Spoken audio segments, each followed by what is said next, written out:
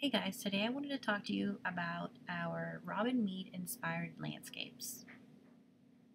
There are three major components to a landscape.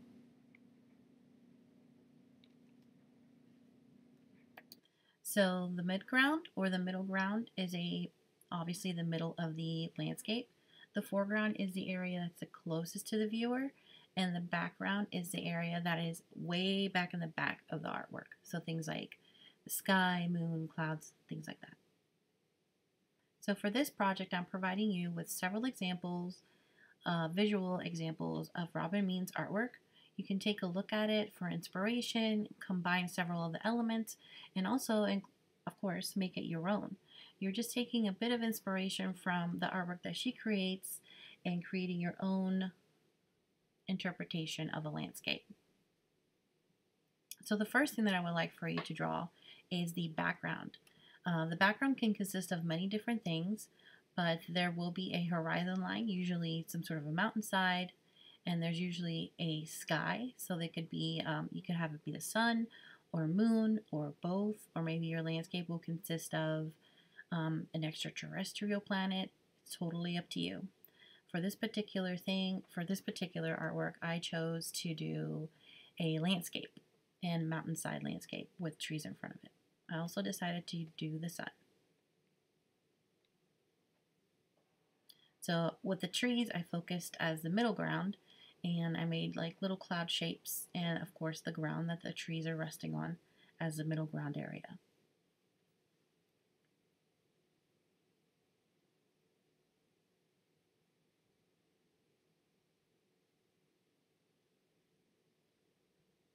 For the foreground, I decided to make it an ocean or waves. And so I decided to do these spiral waves, which are really fun and create a lot of movement within your artwork.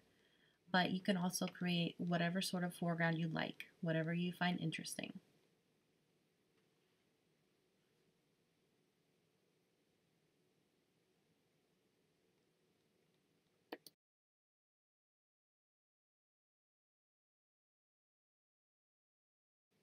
So once you have added all the details that you wanted to include in your landscape with pencil, we're going to add color with the use of watercolor.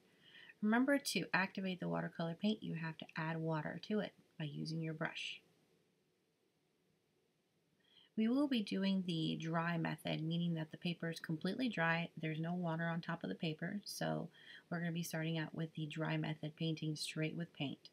So what I suggest to do is start painting in sections. So wherever, let's say you want to include yellow, start painting that first.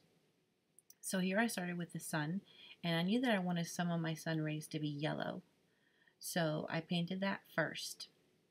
If you start to paint different colors together like I'm about to do, it'll end up being muddled, meaning that the colors start to mix together.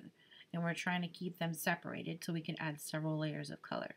So, so what I suggest to do is making sure that you color in sections. So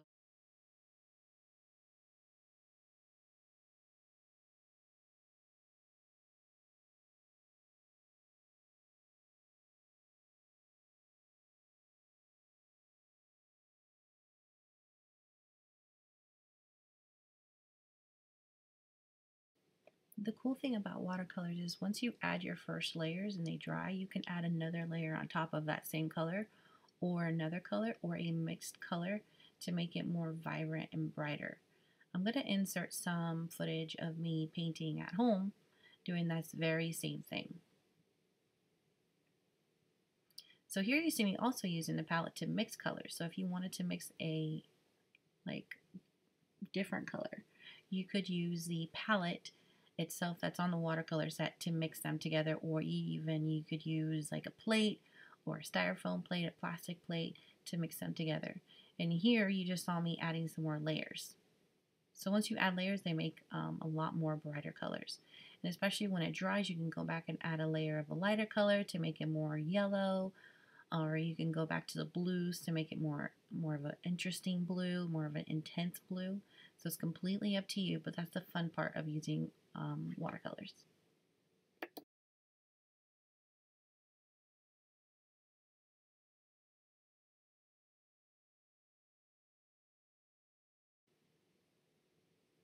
So once you completely finish painting, this is the part where you're going to use markers. I would like for you to use a black Sharpie marker or a black marker and add lines. You're going to be outlining everything that you drew from your original drawing with pencil and you're outlining everything. I would also like for you to include a variety of lines, meaning thick lines, thin lines, mixed into the artwork wherever you see fit to make it look more interesting. If you go back and view some of Robin Mead's artwork, you notice that her artwork does this, and it makes it look more bold so the colors look a lot brighter. And to finish out our Robin Mead inspired landscapes, we're going to rely on our Zentangle knowledge and we're going to be adding patterns within our artwork. It doesn't have to be all of it. It could just be some sections or whatever section you'd feel like. The um, Zentangles could be in light colored areas or you can do the patterns with a black marker. It's completely up to you.